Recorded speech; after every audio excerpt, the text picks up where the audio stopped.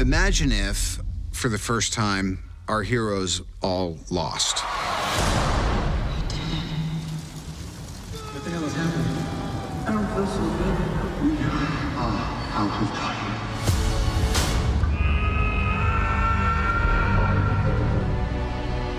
This is no place to die. Thanos had his way, and half of the population of the universe has gone. Everyone's doing their best to keep their head above water, but uh, it's it's kind of a losing battle. We lost, and, and we're not used to losing. People are kind of still coming to grips with it. Natasha is a little bit hardened from what she's had to go through. They've truly leveled us, not just literally, but morally and, and, and emotionally. There was no other way. The fans' reaction to the end of Infinity War, when half of their favorite characters turned to dust, really was indicative of how emotionally connected the world has gotten to these characters. I don't want to go. I don't want to go. The good thing is it's always easier to build people back up after they've been broken down. Man, that, that's what Marvel's great at doing. It's that shred of hope everyone's looking for. We're in the end game now. I know I said no more surprises, but I was really hoping to pull off one last one.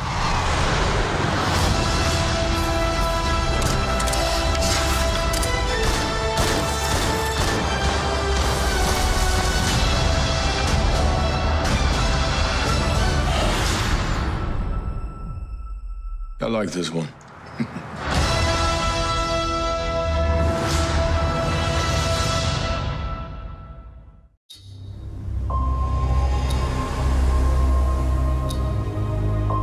lost. All of us. We lost friends. We lost family. Today we have a chance to take it all back. We will. Whatever it takes. Whatever it takes. Whatever it takes. Jo Leute, was geht? Euer Dash ist wieder am Start mit einem neuen Video zu Avengers Endgame, was es ja schon ein bisschen länger nicht mehr gab. Und heute soll es um den neuen Feature-Trailer gehen, der gestern erschienen ist, denn dort wurde uns einiges Neues mitgeteilt, was den Film angeht. Dazu wurden uns aber auch noch Poster revealed, und zwar zu allen wichtigen Charakteren des ganzen Filmes, von denen es einige gibt und die uns nochmal bestätigen, wer denn jetzt wirklich überlebt hat und wer zu den Toten zählt. Und dies könnte uns auch noch sehr viele Hinweise darauf geben, was für Rollen in Endgame noch auftauchen werden, beziehungsweise welche Charaktere wiederbelebt werden könnten. Vergesst auch natürlich nicht, falls ihr es noch nicht getan habt, den Kanal ein Abo dazu lassen, um keiner meiner Videos mehr zu verpassen, denn hier bekommt ihr alles, was Marvel angeht, geliefert. Let's go! Der Trailer, den ihr zu Anfang gesehen habt, beginnt natürlich zuerst mit Tony Stark und dem Rest des Castes, die einfach darüber sprechen, was gerade in Avengers Infinity War passiert ist. Und das ist sozusagen zum ersten Mal passiert, dass unsere Helden wirklich verloren haben und einfach nicht wissen, was sie tun sollen. Nebenbei bekommen wir noch einen emotionalen Zusammenschnitt, all unsere Helden, die wir im Verlaufe des Films verloren haben und eben die Eindrücke der vier Castmember Chris Hemsworth, Robert Downey Jr., Chris Evans und unserer Black Widow Scarlett Johansson. Was man nebenbei anmerken sollte, wer es noch nicht bemerkt hat, wäre, dass Robert Downey Jr. Tony Stark hier auch die Sonnenbrille anhat, die er auch in Avengers Infinity War anhatte, als er Ebony Maw entgegenstand, die er dann kurzerhand aufgelöst hat bzw. abgenommen hat und sich dann eben in seine Nanotech Iron Man Rüstung umgehüllt hat. Also ein cooles kleines Detail, was man hier zu sehen bekommen kann. Dann geht die Überleitung zu Kevin Feige und eben der Frage und die Wirkung von dem Ende von Avengers Infinity War und was man eben mit diesem Ende erreicht hat, beziehungsweise was für eine Realisation dieses Ende gebracht hat, wie zum Beispiel inwiefern was für eine Bindung zu den verschiedenen Charakteren aufgebaut wurde in der Zeit, in dem sie in das MCU eingeführt wurden. Sonst gäbe es eigentlich nicht wirklich viele neue Szenen in diesem Trailer zu sehen. Wir haben einfach nur mehr Einblick hinter die Kulissen sozusagen bekommen und eben was vor Endgame passiert ist, was die Auswirkungen von Endgame waren, im Zusammenhang eben mit den ganzen emotionalen Zusammenschnitten von den Verlusten, als auch von der Trauer, die dann in Avengers Endgame nochmals auftreten wird. Und ja, grundsätzlich soll dieser Trailer einfach nur nochmal ein bisschen den Hype aufbauen und zeigen, wie weit man gekommen ist und was das Ziel jetzt wirklich sein wird von Avengers Endgame und wie die Stimmung und der Ton des Films sein wird. Alle unsere Helden sind weg, unsere jetzigen Helden kommen so gut wie gar nicht damit klar. Zum allerersten Mal wissen unsere Helden einfach nicht, was sie tun sollen. Und es scheint einfach keinen Ausweg zu geben für diese miserable Situation. In Anhang gab es aber noch einen kleinen Trailer, den ihr zum Beispiel gesehen habt, den wir noch nicht auf diesem Kanal behandelt haben und zwar endet dieser kleine Ausschnitt einen, den wir schon mal auf dem Kanal besprochen haben, nur dass eben hier noch mehr Fokus auf Doctor Strange und Black Panther gelegt wird und es eben eine neue Vertonung von Captain America Steve Rogers gibt, indem er wieder einfach ein paar Sätze der Hoffnung droppt. Und das ist wirklich wieder außerordentlich interessant, da Steve Rogers wirklich sehr, sehr viel einfach schon gesprochen hat in den ganzen Trailern, die wir zu Avengers Endgame bekommen haben. Es gab sogar eine Statistik, die belegt hat, dass Steve Rogers, also Captain America, schon mehr gesprochen hat in den ganzen Trailern zu Avengers Endgame als im ganzen Film Avengers Infinity War. Was schon ziemlich schockierend ist, aber auch sehr nachvollziehbar, wenn man mal darüber denkt, dass der Cast in Avengers Infinity War einfach enorm vollgepackt war. Dazu sollte man aber auch wiederum sagen, der Grund, weshalb er natürlich auch so viel redet, ist natürlich auch nicht, dass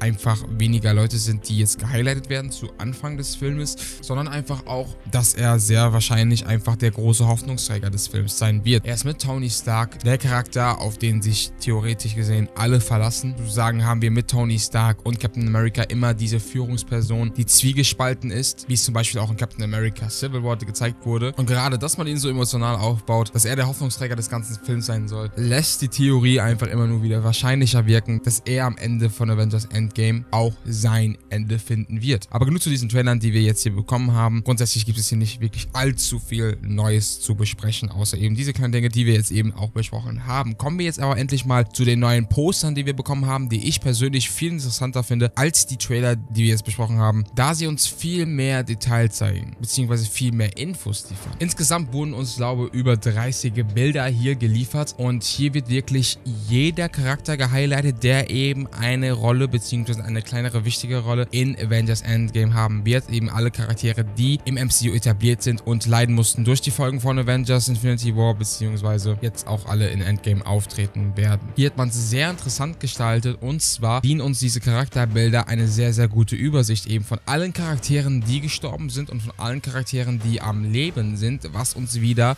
Stoff zum Diskutieren gibt. Natürlich haben wir die Bestätigung von vielen Charakteren bekommen, die am Leben sind und die gestorben sind. Jedoch ist dies einfach nochmal perfekt und gut, um eine bessere Übersicht bekommen, wie ich schon erwähnt habe. Also zu jedem Charakter haben wir einfach sozusagen ein kleines Charakterprofil bekommen. Ihr seht zum Beispiel hier Tony Stark, Captain America, Black Widow, Thor und viele mehr. Die ersten Profile, die wir hier bekommen haben, sind natürlich die, die überlebt haben. Aber von dem Hauptcast wissen wir natürlich alles schon wesentlich Bescheid. Das Interessante sind eben die Nebendarsteller, die uns hier nochmal gezeigt werden und dass diese hier nochmal schön gehighlightet werden. Wie zum Beispiel Valkyrie, an die viele nicht gedacht haben, die ja leider in Avengers Infinity War gefehlt hat und die jetzt auch sehr wahrscheinlich wieder auftreten wird, da sie im ganzen Film Infinity War nicht aufgetreten ist. Und jetzt bekommt sie nochmal ein extra Profil für Endgame, weshalb es natürlich so gut wie sicher ist, dass sie nochmal eine Rolle in Endgame spielen wird. Dies wird sehr interessant sein, wie sie nochmal in die Geschichte eingebaut wird, sei es jetzt zusammen mit Thor oder auf ihrer eigenen kleinen Reise in einem kleinen Ausschnitt, in dem gezeigt wird, was sie während dem Step gemacht hat. Vielleicht hält sie sich ja gerade in Asgard auf, weil wir wissen ja, Asgard ist dort, wo die Asen leben und so findet Thor vielleicht einfach neu Asgard zusammen mit ihr. Beziehungsweise sie führt ihn dorthin. Wong und Happy werden auch nochmal dargestellt. Wong wurde ja vorher kurzem erst bekannt gegeben, dass er wieder eine Rolle haben wird in Avengers Endgame. Und Happy ist einfach gut zu wissen, dass er auch am Leben ist. Da dieser Charakter, denke ich mal, auch schon vielen ans Herz gewachsen ist, da wirklich einer der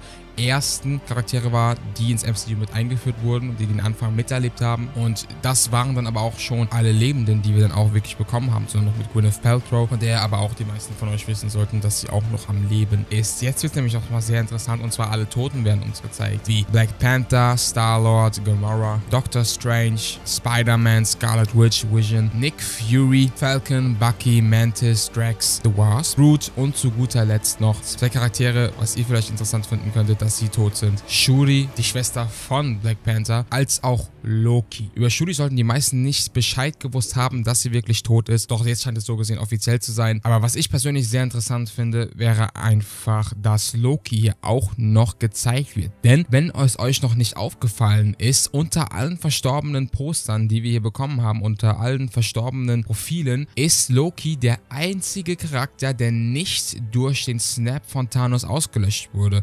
Was vielleicht vielleicht heißen könnte, dass hinter Loki sich noch etwas verbirgt. Weshalb packt man ihn einfach in die große Masse rein? Natürlich kann man da noch viel rumspekulieren. Vielleicht wurde er einfach nur mit reingepackt, weil er halt wirklich einer der wichtigsten Charaktere aus dem Film war, beziehungsweise der sehr geliebt wird im ganzen MCU. Oder man möchte einfach nur verdeutlichen, dass diese, die gestorben sind, diese, die Charakterprofile haben, auch nochmal zurückkehren werden und Loki eben auch einer von diesen ist. Und dies würde dann auch einfach bedeuten, dass Loki vielleicht sogar Thanos austricksen konnte und sogar lebt. Vielleicht ist das zu viel hineininterpretiert, aber eine Möglichkeit ist dies natürlich. Vielleicht werde ich ja nochmal ein einzelnes Video dazu machen, dass Loki vielleicht nochmal leben könnte. Falls euch das interessieren sollte, schreibt es mir einfach in die Kommentare. Und ja, Freunde, das wäre eigentlich alles, was wir zu Avengers Endgame bekommen haben. Wie gesagt, ich halte euch auf den Laufenden, wenn wir was Neues bekommen und wir diskutieren das Ganze dann immer auf diesem Kanal. Bald gibt es noch ein paar coole Theorien, wie zum Beispiel zu Hulk. Aber morgen bekommt ihr erstmal ein paar neue Infos zu Spider-Man Far From Home, denn da haben wir auch was Neues bekommen. Leute, vergesst auf gar keinen Fall meine letzten Videos zu schauen, wie zum Beispiel die zu Captain Marvel. Da habe ich ein Video zu Nick Fury gemacht und weshalb er Captain Marvel nie gerufen hat und um Hilfe gebeten hat. Oder eben zu Goose, der Katze von Captain Marvel, die sich als Flurken entpuppt hat. Und Flurken sind wirklich sehr erstaunliche, seltene und starke Wesen, wenn man mal so drüber nachdenkt. Dazu habe ich auch nochmal ein Video extra gemacht, könnt ihr euch auch anschauen. Das wäre es aber auch auf jeden Fall von diesem kleinen Video, Friends. Ich hoffe, es hat euch gefallen. Wenn es euch gefallen hat, würde ich mich natürlich freuen, wenn ihr dem Video einen Daumen nach oben geben würdet. Vergesst auf gar keinen Fall auch natürlich den Kanal ein Abo dazulassen, damit ihr keiner meiner Videos mehr verpasst. Ich wünsche euch noch einen wunderschönen Tag, passt gut auf euch auf, lasst es euch gut gehen. Und ich würde dann mal sagen,